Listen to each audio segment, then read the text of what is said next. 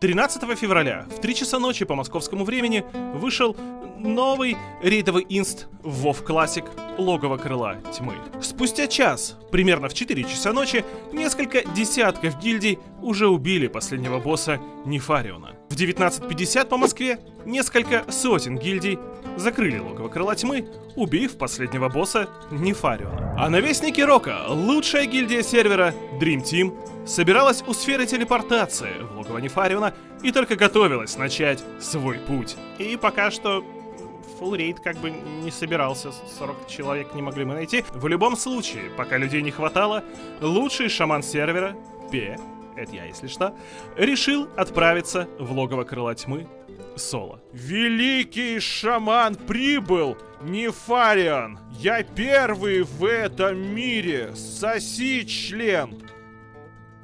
Да, по уровню моего юмора кому-то может показаться, что я быдлан, воспитанный дворовой алкашней в каком-то маленьком северном городке, но из песни слов не выкинешь, я рассказываю вам все как было. Спустя пять минут.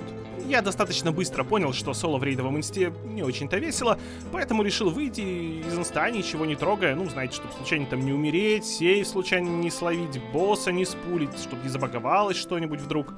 Твою мать, твою мать, твою мать, они сагрились! НС в себя! НС! Контроль! Блин, они там что-то кастуют, что они что делают? Они теперь вообще заиведятся, нет, когда-нибудь? Я, может, все сломал? Может, не надо было так делать? Предположив, что если теперь в инсте что-то сломается или будет плохой лут, виноватым сделают меня, ведь я как бы первый в него влез, еще и босс спулил, я быстренько телепортировался в Каркат и никому не сказал, что я уже был внутри ПВЛ, хотя нам нельзя было еще туда заходить. Вы первые, кому я решил рассказать эту тайну. Еще через пять минут я, как ни в чем не бывало, вместе с остальными рейдерами подошел к инсту и зашел внутрь исключительно пока команде РЛа, и ни секунды раньше, как и положено приличному рейдеру, который точно не мог сломать первого босса, спулив его соло раньше времени. В 2045 лучшая гильдия мира. Игрового мира. Вестника Рока. Лучшая гильдия мира, Dream Team, спулила первого босса логова Крыла Тьмы. Мы все были под фласками. Я лечил как лев. Дамагеры дамагали как лев... Так, сейчас, подожди, давай так. Я лечил, как если бы я был сыном бога. Дамагеры дамагали как львы, а наш РЛ трогал яйца так быстро, как только мог.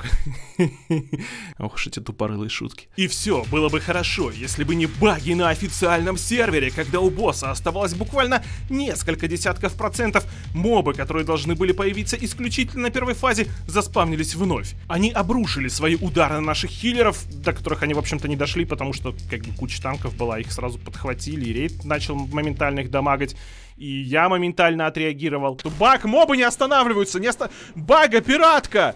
Blizzard, что происходит? Бургер, где видео по этому поводу? Нету видео от Бургера, никто не знал, что есть такая бага. Что? Мобы продолжают спавниться! Они останавливаются!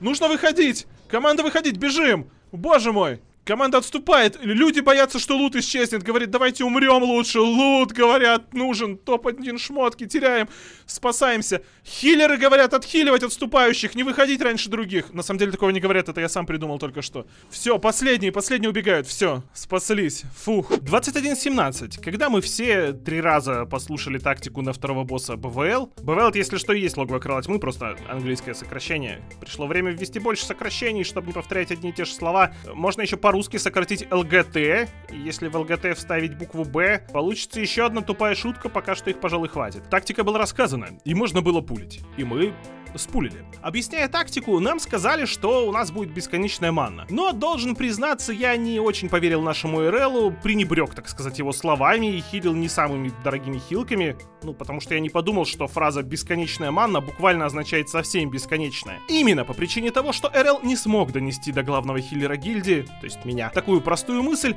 о бесконечной мане, мы вайпнулись нам не хватило хила. Но, как известно, в мире Вова то, что вас не убивает, делает вас сильнее. Ну, только после того, как вы убьете то, что вас убило, и вам хватит ДКП, да, вот тогда вы точно станете сильнее. Мы хотели быть сильнее.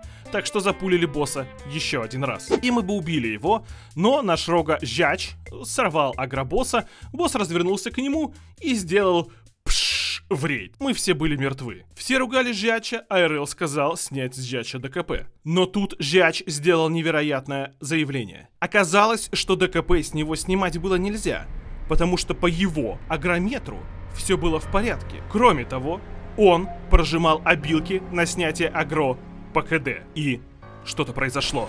Самореальность вздрогнула. Время замедлилось, остановилось и пошло вспять. Сами боги спустились с небес, чтобы восстановить справедливость. Ведь если у Жача в агрометре все было в порядке, то босс не должен был сорваться на него. Боги заговорили с нами и сказали, что выдадут нам весь лут с босса, а также личную компенсацию Жачу, ведь за 20 секунд его успели нехило так обговнякать, да еще и ДКП снять. А это было нечестно.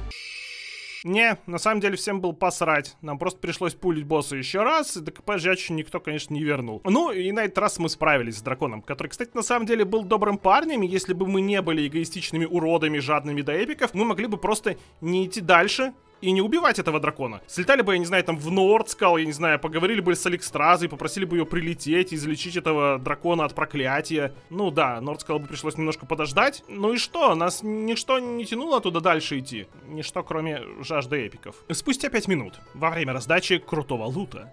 Господи, как Blizzard ы это создали вообще? Не, ну, конечно, 9 MP5 неплохо, но где бонус к хилу? Что это? Блин, Близы такие, сука, наркоманы были просто. Но это были любимые наркоманы. Спустя еще 10 минут рейд гильдии Dream Team стоял у самого сложного что только может существовать в WoW Classic. У того самого трэша, БВЛ. И так как я вагонился в настоящем старом WoW Classic, я плохо помнил, э, что значит... Тот самый трэш БВЛ, ха-ха, Пиптар, сейчас вы все будете вайпаться. Это цитата из моего чатика. Очевидно, часть моих сагильдовцев обладала той же самой посредственной информацией о происходящем, поэтому мы, не задумываясь, ринулись в бой. Но были отброшены силами драконов назад. Однако статус топ-1 гильдии сервера предполагал, что нужно все-таки идти дальше. И мы пошли еще раз. И еще раз на этот раз прошли дальше, но не смогли выстоять и героически пали. И когда РЛ отдавал команду резаться на кладбище, ну, потому что один дракончик мешал резать единственному оставшемуся присту, последний из спасителей челов... Э, из спасителей Орды волшебные волшебники смогли выжить и убить последнего маленького дракончика, который мешал последнему оставшемуся в живых присту.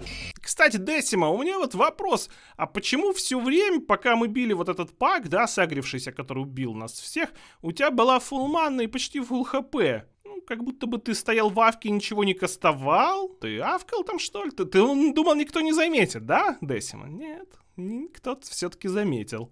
В общем, маги убили последнего оставшегося дракончика, который мешал совершенно случайно выжившему на чистом скеле престу резать рейд, и мы начали вставать, один за другим.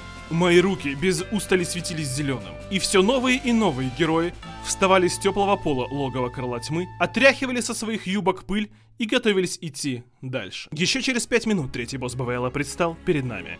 Но все было не так просто. Нужно было сначала зачистить паки вокруг, потом убить маленьких дракончиков, которые рисуются очень быстро, потом пробежать в угол. Босса кто-то спулил, полбосса! Босс откинул всех и ваншотнул танка. Хотя танка воскресили, не знаю зачем, у нас очень много танков, одним больше, одним меньше, какая разница. И, кстати, обратите внимание, где стою я, а где весь рейд.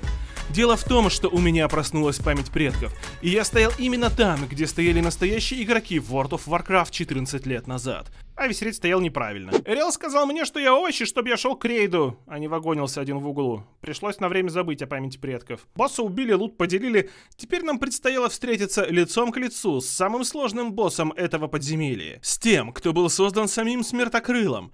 Про смертокрылый это инсайдерская инфа, мне ее слил Майк Мархейм после увольнения, ну, чисто по секрету. И на самом деле, этот босс куда сложнее Нефариона. Но напомню, что мы топ-1 гильдия, так что вся эта информация нас не напугала. Огнечервь! Фаермяу как-то получше звучало. Сложность этого босса состоит в том, что для неполучения урона нужно отойти за стену. Ну, там еще как-то надо танком ротироваться, там босс агро сбрасывает, отбрасывает. Не знаю, э, это не важно, все это неинтересно. Самое главное, что для того, чтобы рейд не получал урон, нужно отходить за стену. И вы думаете, это легко. Вы думаете, я такой сейчас угораю и буду гнобить топ игроков, топ-1 гильдии, за то, что они не могут делать таких простых вещей? Нет, посмотрите, я сам настакал на себе 10 дебафов и умер. Просто я с этим не смог ничего сделать. Это реально очень тяжело. Но даже когда мы научились отбегать за стены, мы продолжали вайпаться, сталкиваясь при этом все с новыми и с новыми проблемами. Сначала у нас умирал танк-воин, потом у нас умер танк-друид, потом танк-воин, потом танк-друид, потом воин два раза, потом снова танк-друид и опять танк-воин. И когда казалось, что выхода из этого замкнутого круга бесконечных необъяснимых смертей танков нет, когда казалось, что мы обречены на вечные муки, когда мне, как хиллеру, ничего не оставалось, кроме как плакать в углу из-за своей неспособности отхилить танков, э, которые бегали вокруг дракона, специально прячась от хила за стены, в этот самый последний момент закончился рейд ну да, вы как бы что хотите. Мы, конечно, топ-1 гильдия сервера, а еще мы успешные реал-лайферы. У нас жены, любовницы и деньги, которые мы сами заработали на своих бизнесах, нужно их как-то пересчитывать, когда-то время на это нужно. Так что сколько убили боссов, столько и убили. Мы как бы не гонимся за этими, знаете, рейтингами вот этими вот этими и прочей глупостью. Мы просто приходим и берем топ-1 в следующий раз. Спустя три дня, следующий рейдовый день, воскресенье. Как вы помните, наш первый рейд в БВЛ пару дней назад не мог собраться примерно полчаса, просто не хватало людей, вовремя никто не приходил. Именно поэтому я предполагал, что сегодня будет то же самое. Но я ответственный рейдер, так что пришел за 16 минут до начала, а, однако я тут же получил инвайт в рейд, а в личку мне написали, чтобы я поторапливался, уже убили трэш все и ждут меня прямо около босса, и сегодня вообще надо убить Нефариона. Так что, как говорит один мой более популярный коллега, что же, время начать рейд. Несмотря на то, что четвертый босс БВЛ Фаермяу является самым сложным боссом в игре, и мы вайпались на нем несколько часов в предыдущий рейдовый день, ведь он требует скоординированной работы всего рейда и в особенности танков, мы, легко не задумываясь, убили его с первого раза. Также не задумываясь, мы убили и Эбанрока. Я, правда, отвлекся и не сразу понял, что мы бьем босса, но это не важно. Важно другое. Отвратительная локализация. Надеюсь, кто-то снимет об этом отдельное видео, где будет высмеивать вот эту вот локализацию отвратительную. Вдумайтесь только, они перевели Эбанрока как Черноскала. Хотя Эбонит — это, по сути, материал. Очевидно, имя дракона Эбонрок означает, что он эбонитово-скальный. То есть, получается, локализаторы исказили саму суть названия этого дракона. Он должен был называться Ебанскал. А, ну, ну да, ну, да, не, не, Черноскал неплохой вариант, окей. Спустя 5 минут после убийства Черноскала наш танк привел еще какого-то дракона в то же самое место, э, но этот дракон нас уже почему-то убил. Однако топовая гильдия отличается от нетоповой тем, что всегда мстит своим обидчикам. Так что мы убили того дракона, который нас убил. И так будет с каждым. Предпоследний босс Хромагус. Наш РЛ придумал изощренный способ пытки некоторых недостаточно классных, на его взгляд, игроков. Он разделил нас стеной, не спрашивайте меня зачем, я все еще не понимаю. Э, часть рейда была как бы рядом со мной, и я мог их лечить, что и делал. И спасать там от всяких ядов, болезней и прочего. А часть была на другой стороне. И они были буквально в нескольких метрах, но нас разделяла стена. И я никак не мог помочь корчащимся в муках сагильдовцам. Ирел жесток. Но наверняка мудр, думаю, это было наказание магам за то, что они дают мне по два стака воды за рейд. Маги, серьезно. Вот хиллер, да, бежит 2 метра, потом ставит тотемы, потом плюхается пить за полсекунды до того, как войдет в бой, потому что танк уже спулил пак, и нужно успеть хотя бы немножко отпиться, потому что уже нужно начинать хилить. А теперь посчитайте просто, сколько в инсте паков точно больше 40 маги. Хотя в БВЛ может и меньше 40. Но неважно, важно то, что маги плохие, а варлоки хорошие. Жалко, варлоки не могут давать какой-нибудь там волшебный многоразовый камень, который хиллер мог бы пососать и восстановить ману таким образом. Чего-то меня куда-то не в ту сторону понесло, соряныч. Кстати говоря, я должен отвлечься немножечко и заметить, что у нашего РЛа ник э, Джамай. И он очень классный и точно не гей. Кто сказал Джамаю, что я на стримах называл его геем? Кто это сделал? Такого не было просто, сто процентов. Более того, я вообще не против геев. Геи нормальные, классные ребята. И Джамай классный. Хм.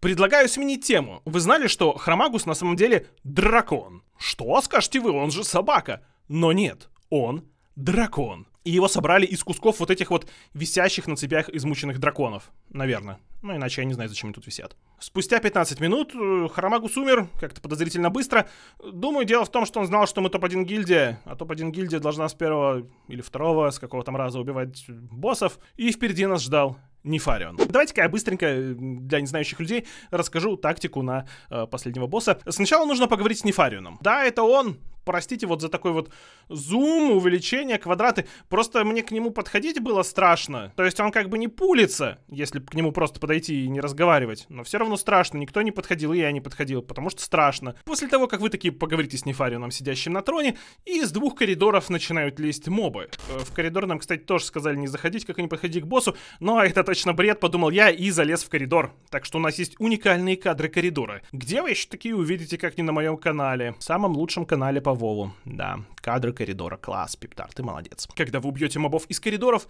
надо одеть плащ. Потому что если не одеть плащ, вы умрете. Ну, вообще, одеть плащ нужно еще до разговора с Нефарионом, до того, как войдешь в комбат, потом ты его уже, конечно же, не одеть. Хилкоу, как видите, о плаще позабыл. Хилкоу, логи у него обычно легендарные, а плащ он не одел. Как жаль, что тебя поджарило, дружище. Теперь у меня на одного конкурента меньше по хилу. Как жаль. Ну и дальше дракон делает то, что положено делать драконам. Там хвосты, эфир и так далее. А еще кастует класс-колы. Чтобы не пользоваться англоязычными терминами, я использовал Google переводчик и выяснил, что класс-кол это когда Нефарион звонит вам в класс довольно странная картина вырисовывается, но на самом деле забейте, серьезно. Класс колы, фиголы, это вообще глупости, их можно игнорировать, если вы шаман. Если вы не шаман, ну, не знаю, гайды там читаете, я-то тут при чем. Чуть серьезнее. Тут у Нефариона осталось мало хп, как вы можете видеть. И вообще, он буквально умер. С первого раза, кстати говоря. Не то чтобы такой профессионал, как я, никогда не убивал боссов с первого раза, но последний босс в рейдовом инсте, пусть его в классик, я считаю, что гильдия Dream Team по заслугам носит звание топ-1 гильдии мира. Игрового мира. Вестник Орока. Это был сложный путь. Без шуток. Я был в Молтон Коре 16 раз. Я посчитал. 16 раз в Молтон Коре это много. И я, собственно, только на 16 собрал Full Tier 1. Да, вот, посмотрите, у меня есть Full Tier 1, который я буду теперь до Накса носить включительно. Ну и, собственно, все. Blizzard мы теперь ждем Зульгуруп уже, да, можно уже запускать. Я тем временем потихоньку стал делать ачивки на вульперов в БФА, чтобы устроить череду стримов по прокачке на квестах с 1 по 120 уровень, но это еще будет очень не скоро, очень, не надо спрашивать когда, не скоро, месяцы пройдут, годы, прежде чем я устрою вот этот вот марафон по прокачке. Как всегда, спасибо, что посмотрели это видео, впереди еще 10 миллиардов других видео, если хотите увидеть их все, дайте мне эликсир бессмертия и подпишитесь на канал, чтобы не пропустить 10 миллиардов видео. Если вы не видели другие серии Дневников Задротов, смотрите их скорее, вы чё? Да, они тоже очень классные. Всем пока.